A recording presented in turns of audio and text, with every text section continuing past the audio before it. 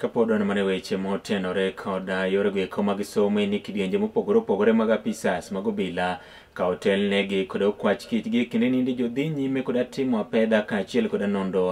Maendi en kaluwore koda lal mar dereba ma koro ne omi chenro mar chwalo buge kawuok e boma nendo ma Nairobi nyaka e kaunti nendo ma Nyamira ka buge ogogo to koro ne oyudi bungu nendo ma Kap Kagat mayudore e kaunti nendo ma Elgeyo Marakwet e hoho mar Okaka. Ler yango ni bugego eko ne ichwal e kaunti niendo ma Nyamira, to nyaka gie kinde niendi buge ogogo ne ok ochopo kendo nyoch nyo oyudgi e bungu ma kono endo ka dereba kaachiel koda nyamburko noendo bende onge ka riwruog jopuonj e sikunde mag sekondar Kupet e bade ma Nyamira dwaro mar mondo mi ong'e ler mathoth e wi lala kaachiel koda yudo mag bugego eko e kaunti ma Elgeyo Marakwet kane ichwalogi e sikunde mag sekondar mapiny kata junior secondary schools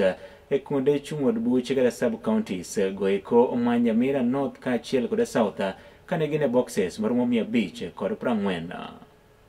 cha vitabu hivyo. Posikia asubuhi machiefs walivyotuambia, tumekimbia, tumepata maajabu, especially vitabu ya shule.